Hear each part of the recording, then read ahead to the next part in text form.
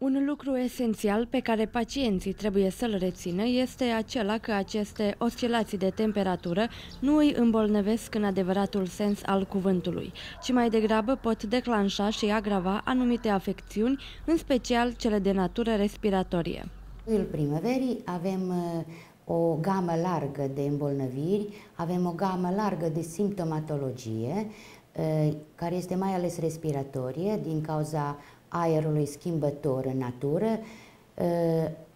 Mulți pacienți se anunță cu sinuzită, cu rinosinuzită, cu faringită, cu copii deseori cu laringite.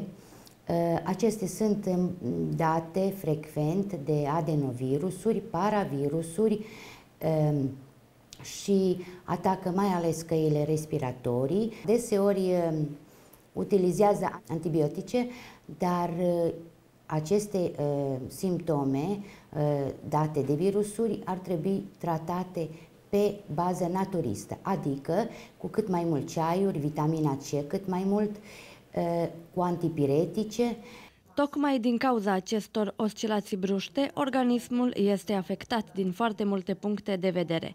Își pierde ritmul de odihnă, crește starea de oboseală și se confruntă cu scăderea imunității.